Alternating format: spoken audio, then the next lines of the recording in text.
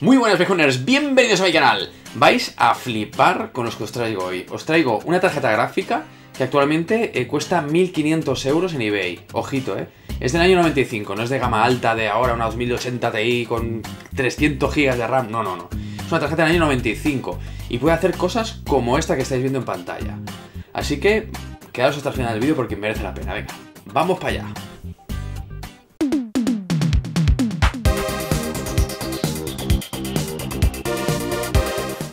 Nvidia ahora mismo está partiendo la pana en lo que a aceleración gráfica se refiere. En rendimiento está claro que se lleva la palma, aunque por desgracia todo esto se traduzca actualmente en unos altísimos precios gracias a, la situación de poder que ha conseguido teniendo prácticamente el monopolio en el mercado de, las tarjetas gráficas.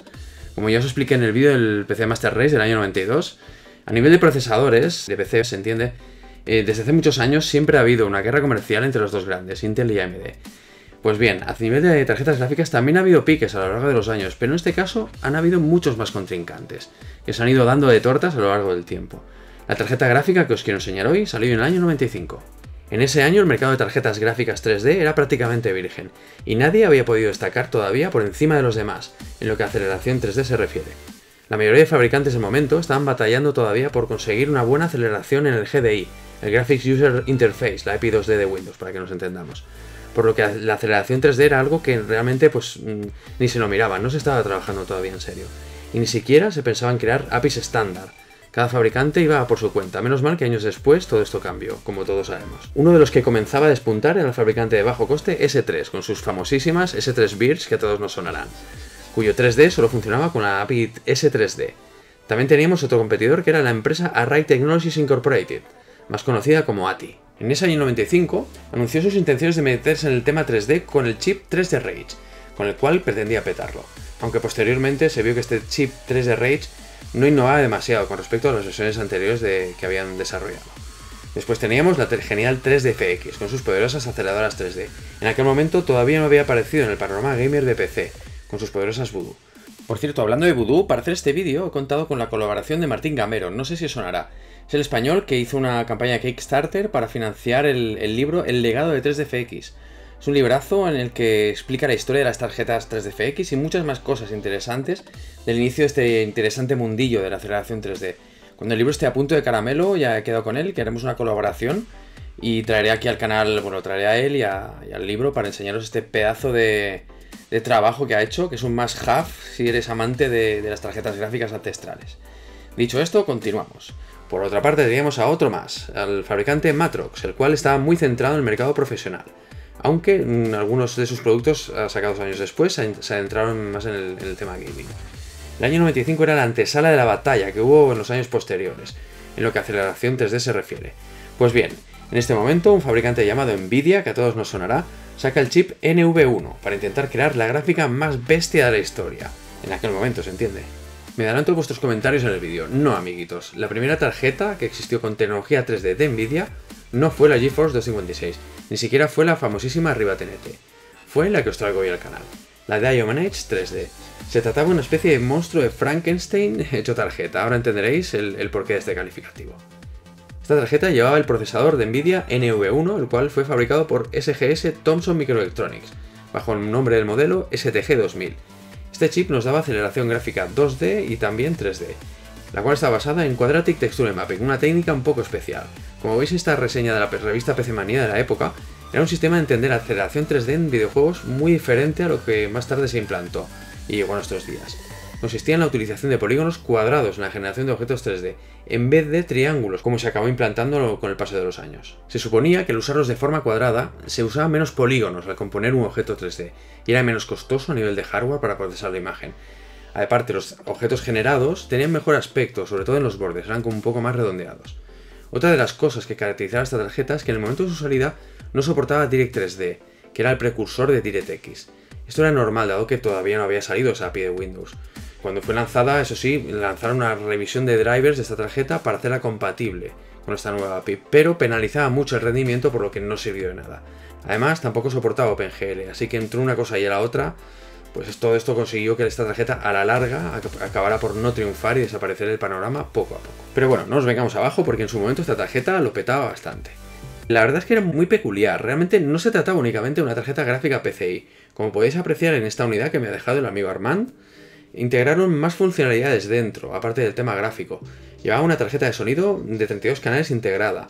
Aparte, la tarjeta venía con este accesorio eh, que se conectaba mediante estos dos cables a la tarjeta. Y esto nos proveía de tener dos puertos de joystick compatibles con mandos de Sega Saturn. Aparte, nos llevaba, nos venía la tarjeta con un pad de estilo Sega Saturn que está bastante chulo para poder jugar. Este detalle tenía una intencionalidad clara que comprenderéis más adelante en el vídeo.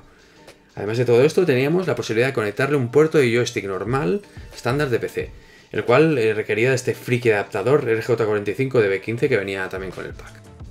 La tarjeta que me ha dejado el señor Armand venía con más cositas. Aquí vemos el manual, que era un manual bastante completo, como de la vieja escuela, en el cual nos explica un nivel de detalle brutal, las características de la tarjeta. Una de ellas nos dice que es capaz de cargar juegos de Sega Saturn. Recordemos que estamos en el año 95. Este detalle estaba realmente espectacular, aunque habría que matizarlo un poco. Con esta tarjeta no teníamos una Sega Saturn en nuestro PC. Con esta tarjeta podíamos correr juegos que fueron adaptados de Sega Saturn para poder ser ejecutados en un PC con esta tarjeta. A ver, no fueron muchos títulos. Como veis, la idea no acabó de triunfar, no hubieron demasiados. Pero más adelante en el vídeo os enseñaré cómo los ejecuta y la verdad es que, bueno, llama bastante la atención. Aparte de todo esto, la tarjeta venía también con sus drivers y con dos juegos, el Virtual Fighter Remix y el Panzer Dragon para poder venirnos arriba e imaginaros que nuestro PC se había convertido de golpe en una Sega Saturn. La instalación de la tarjeta no tiene secreto, la instalamos en un bus PCI de nuestro PC. Al lado pondremos la plaquita accesoria con los conectores de joystick. Y bueno, entrando en detalle sobre el PC en el que voy a demostraros el funcionamiento de la tarjeta, se trata de una máquina con Windows 98, 256 MB de RAM, el procesador que le he puesto es un Pentium 1 MMX a 233 MHz de velocidad, y con este montaje he intentado eh, que los componentes se acerquen a la época de la tarjeta, aunque soy consciente de que el procesador es un pelín posterior. La placa base es una Super Socket 7, posterior al procesador que he puesto, y bueno, por la placa que es, podría haberle puesto perfectamente un procesador mucho más potente, un K63 de AMD o un K62, pero he preferido ponerle este Intel por los motivos que ya os he comentado. Veamos de qué es capaz esta tarjeta viejuna ancestral, probando algunos de los juegos de Saturn que fueron portados. Uno de los juegos que era compatibles con esta tarjeta era el Battle Arena Toshiden. Se trata de la primera parte de la saga. Este juego, para hacerlo correr, he tenido que irme al modo MS2 viejuno de, de Windows 98. Y bueno, como veis, se ve genial, se ve bastante bien, va muy fluido y no, tiene ningún problema. Otro juego que he tenido que probar en MS2 ha sido el NASCAR Racing, versión compatible con, con esta tarjeta. Y la verdad es que se mueve absolutamente genial, con una resolución muy, muy buena. Le he puesto todo al máximo para poder apreciar los, detalles de las imperfecciones de la calzada, etc. Sobre todo, una aclaración a los más jóvenes que estáis viendo este vídeo. Por supuesto que estos juegos, si los comparáis con juegos de las generaciones actuales, pues claro, hay diferencia. A ver, debéis tener en cuenta que en el momento que salieron estos juegos, en el año 95 aproximadamente, jugarlos así en un PC de la época era algo fuera de lo común. Algo que, aunque hoy lo veáis normal, en aquel momento no lo era para nada.